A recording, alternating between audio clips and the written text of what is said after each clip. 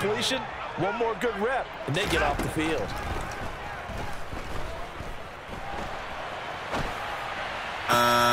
And his pass is intercepted for the fourth time today. P.J. Williams with a pick. They find some open field here.